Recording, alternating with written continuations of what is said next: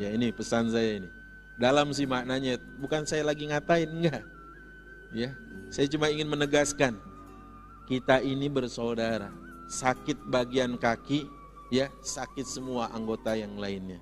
Sibuk semua anggota yang lainnya. Jangan mengatakan gara-gara kalian tuh, lihat pemimpin-pemimpin Arab sekarang sibuk. Loh dia nggak paham tentang makna apa? Persaudaraan dalam Islam. Baik.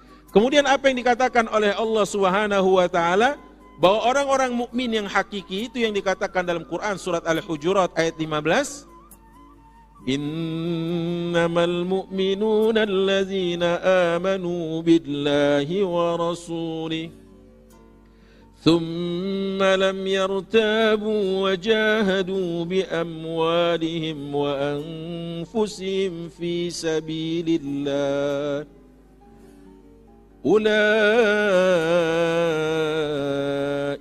humus sadiqun.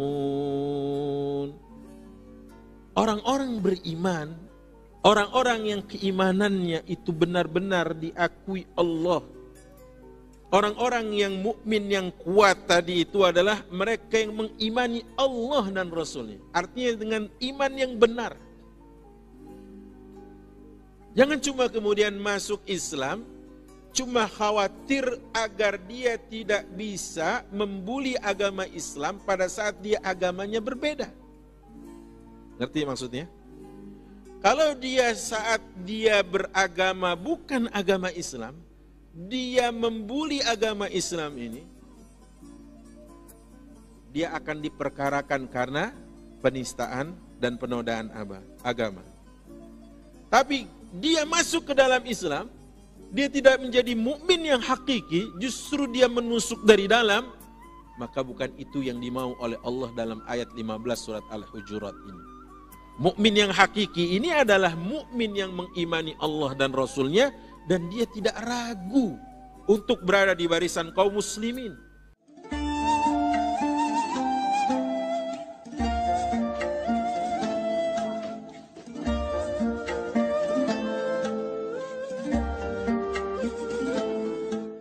Dia tidak gamang, dia tidak sungkan untuk menyatakan, katakanlah aku sebagai seorang mukmin.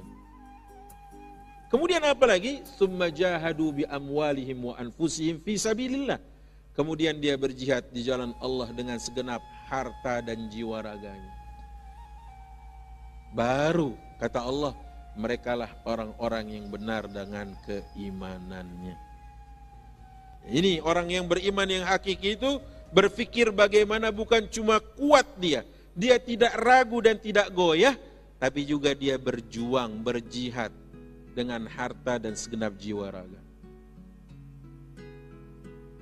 Itu ya Bu ya. Ya, jadi seperti itu. Maka orang beriman yang hakiki kata Allah, yang pertama adalah yang mengimani Allah dan Rasulnya.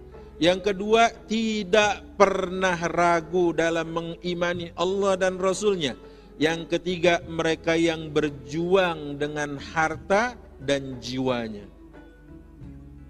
Ini baru orang beriman yang hakiki. Mau menjadi mukmin hakiki? Penuhi syaratnya. Mau menjadi mukminah yang hakiki? Penuhi syaratnya.